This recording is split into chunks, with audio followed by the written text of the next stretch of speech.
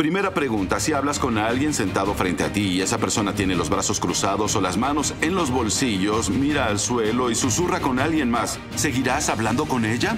Y dije, llevo hora y media en esta arena y no hay una pizca de la presencia de Dios porque Salmo 89.7 dice, Dios es temible en la gran asamblea de los santos, formidable sobre todos cuantos están a su alrededor. Les dije, si el presidente de su nación hubiera entrado a esta arena hoy, le hubieran dado 10 veces más respeto que al Espíritu Santo. No le dieron ningún respeto al Espíritu de Dios. Y al final de los 75 minutos de predicar del santo temor a Dios, les dije, todos dicen ser creyentes, pero les falta el temor a Dios y deben arrepentirse levántense. Se levantaron y la presencia de Dios llenó la arena.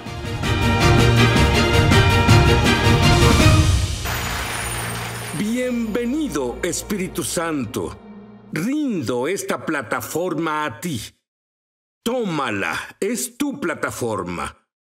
John dice que hay algo completamente ausente en la iglesia. ¿Qué sucedió en 1994 y qué es lo que falta completamente? Bueno, Sid, en 1994 compartía en una conferencia en la iglesia más grande de toda la región y hablé sobre el temor del Señor. Y la noche siguiente hablé la segunda noche. El pastor se levantó y pensé que sería una presentación de rutina. Y dijo a las personas, quiero protegerlos del error que se enseñó anoche. John comenzó, John habló de una teología del Antiguo Testamento, el temor del Señor. Como cristianos del Nuevo Testamento no necesitamos temer a Dios. Dios no nos dio un espíritu de temor, sino de poder, amor y dominio propio. El perfecto amor echa fuera el temor. Luego me presentó Sid. Y fue el servicio más difícil que he hecho. A la mañana siguiente salí y encontré un sitio en construcción. Estaba desierto, era sábado por la mañana. Y empecé a decir, Dios, lo siento mucho, ¿cómo iría tu iglesia? Ah, ah, puse a las personas en cautiverio. Por favor, por favor, ayúdame. Y cuanto más oraba, más sentía el gozo absoluto del Señor. Y antes de terminar mi oración, me encontré en el sitio de construcción clamando por conocer el santo temor de Dios. Y eso es lo que falta por completo ahora, el temor o la reverencia al Señor. Saltemos a 1997, Brasil. ¿Qué pasó? La primera vez que fui a esa nación y estaba emocionado, volé hacia allá y me preparé como el orador de la noche del viernes en la conferencia nacional. Me llevaron a la arena. Estaba completamente llena. Me subieron a la plataforma y el equipo de adoración era increíble, el mejor de la nación. Pero noté de inmediato la falta evidente de la presencia de Dios. Y me confundió. Todos eran creyentes.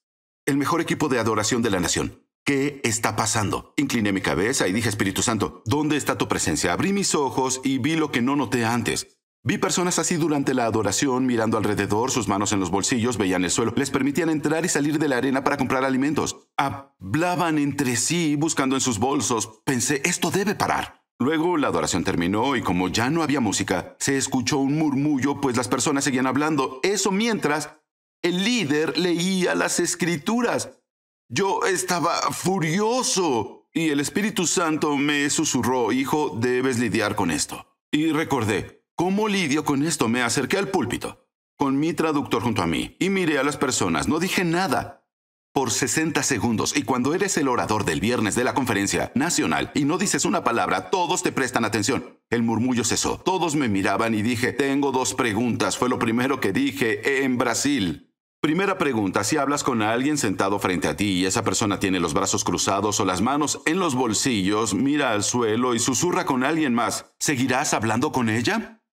No, y dije, llevo hora y media en esta arena y no hay una pizca de la presencia de Dios, porque Salmo 89.7 dice, Dios es temible en la gran asamblea de los santos, formidable sobre todos cuantos están a su alrededor. Y los siguientes 75 minutos les prediqué sobre el temor del Señor. Les dije, si el presidente de su nación hubiera entrado a esta arena hoy, le hubieran dado 10 veces más respeto que al Espíritu Santo. Y dije, si Pelé, su mejor jugador de soccer, hubiera subido a esta plataforma, habrían estado atentos a él y anticipando cada palabra. No le dieron ningún respeto al Espíritu de Dios. Y al final de los 75 minutos de predicar del santo temor a Dios, les dije, todos dicen ser creyentes, pero les falta el temor a Dios y deben arrepentirse. Levántense. Se levantaron y la presencia de Dios llenó la arena. Las personas empezaron a llorar y se elevó un poco y quise guiarlos en una oración de arrepentimiento. Vino otra oleada. Fue tan maravilloso. Había personas llorando, podía escucharlos. Bueno, eso se avivó más y el Espíritu de Dios habló y dijo, caeré una vez más.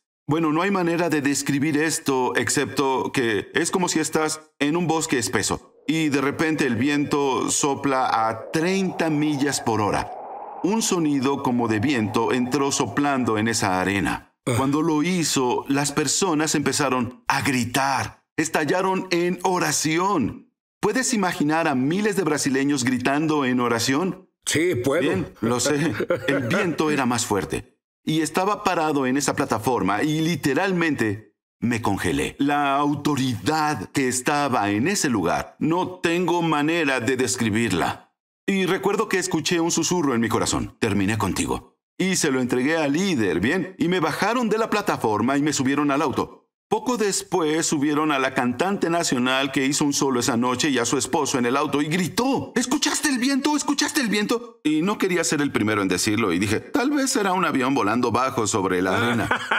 bueno, ella se enojó conmigo Dijo, ¿de qué hablas? Vi fuego alrededor de la arena. Y seguía y seguía y su esposo era más tranquilo y dijo, Señor, eso no, no, no fue un avión. Dije, ¿cómo sabes? Dijo, hay hombres de seguridad y policías afuera de la arena y la mayoría no son del Estado, son del sindicato. Dijo, cuando empezó a soplar el viento y lo oyeron desde afuera, entraron para ver qué era. Dijo, además, estaba en la cabina de sonido para revisar el volumen de mi esposa. Dijo, todo el tiempo que sopló el viento, los medidores de decibelios quedaron en cero. Sí, volví a mi cuarto esa noche y yo adoré a Dios hasta la 1.30 de la mañana en el balcón de mi hotel. En la mañana era sábado, la misma arena, misma gente.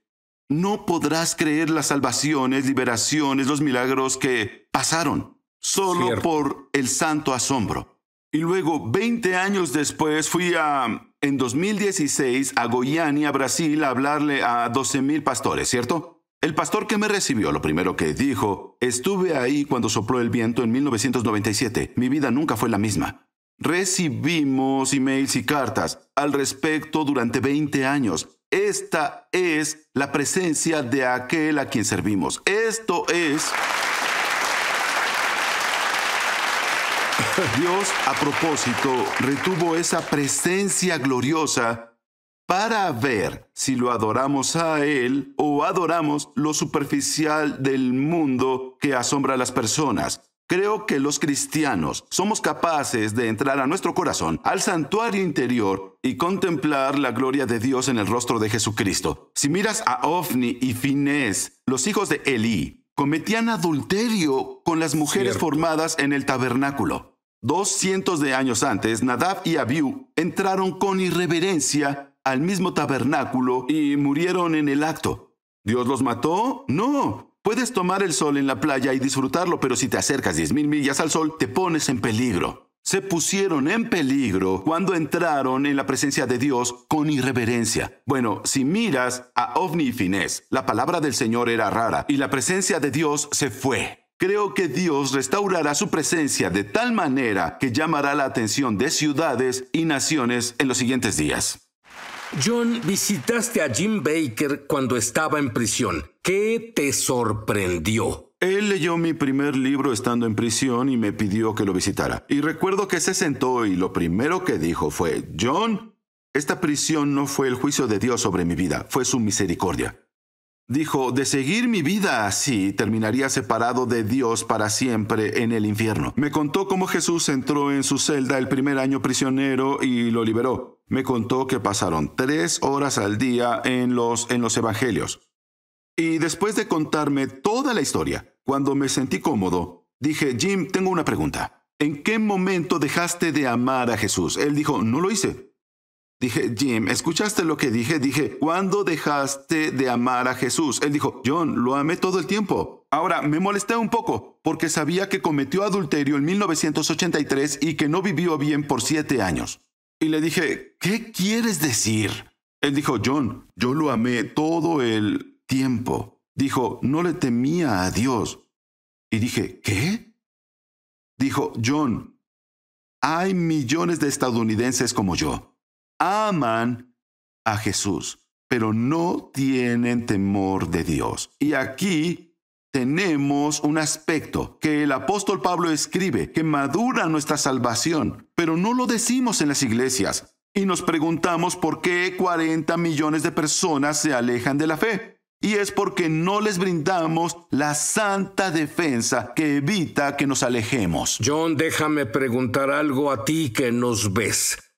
¿Qué te parece comenzar de nuevo? No puedes hacer nada por el pasado, pero la buena noticia es que la sangre de Jesús, si te arrepientes de tus pecados, borra todo, hasta el punto en que Dios ya no recuerda eso. Y por cierto, pasarás la eternidad, y esta no tiene fin, con Dios. Por eso es importante tener una hoja en blanco. Comencemos de nuevo ahora. Repite esta oración en voz alta conmigo y dila lo mejor que puedas. Dios no pide nada más. Puedes hacerlo. Repítelo en voz alta. Es importante. La Biblia dice que lo hagas. ¿Tienes el temor de Dios? Haz lo que dice la Biblia que hagas. Repite en voz alta. Querido Dios. Querido Dios. Me arrepiento de mis pecados. Me arrepiento de mis pecados. Te pido que tu sangre los borre te pido que tu sangre los borre. Necesito comenzar de nuevo. Necesito comenzar de nuevo. Y ahora que comienzo de nuevo. Y ahora que comienzo de nuevo. Jesús ven y vive dentro de mí. Jesús ven y vive dentro de mí. Te hago el salvador de mis pecados. Te hago el salvador de mis pecados. Y también te hago mi Señor. Y también te hago mi Señor. Amén. Amén. Amén. John, ora como Dios te guíe justo ahora frente a la cámara. Claro que sí. Padre Celestial, te doy gracias por mi hermano y mi hermana que nos ven ahora. Y agradezco por los que te conocieron hace un momento por la oración de Sid. Padre, te pido que tu espíritu llene esa sala, esa oficina, esa cocina. Incluso ahora, Espíritu del Dios vivo, te pido que manifiestes no solo el santo temor de Dios, sino también el amor de Dios en la vida de esa persona. Señor, hablo a las ataduras, hablo a esas cosas que evitan que ese hombre o esa mujer se entreguen por completo a Jesús. Rompo el poder de esas ataduras que vienen de generación en generación y generación. Satanás ya no posees a ese hombre o a esa mujer, pertenecen a Dios y en el nombre de Jesús ordenamos que tu dominio se rompa. Y ahora, Padre Celestial, llena a mi hermano y a mi hermana con el Espíritu Santo del temor del Señor y su asombro con el Espíritu de sabiduría, consejo, poder, conocimiento y comprensión. Y, te doy gracias porque Jesús, Yeshua, se vuelve real para ellos a partir de este momento, gracias a tu Santo Espíritu en el nombre de Jesús. Amén. Amén. Estoy muy emocionado por Jesús. Oro para que esa emoción caiga sobre ti en este momento. Hola, ¿sabías que puedes ver este video y otros dentro de nuestro canal de YouTube? Nada más recuerda suscribirte a nuestro canal y activar la campanita para que te puedan llegar las notificaciones cada vez que cargamos un video nuevo y puedas ser el primero en verlo y disfrutar de todo nuestro contenido.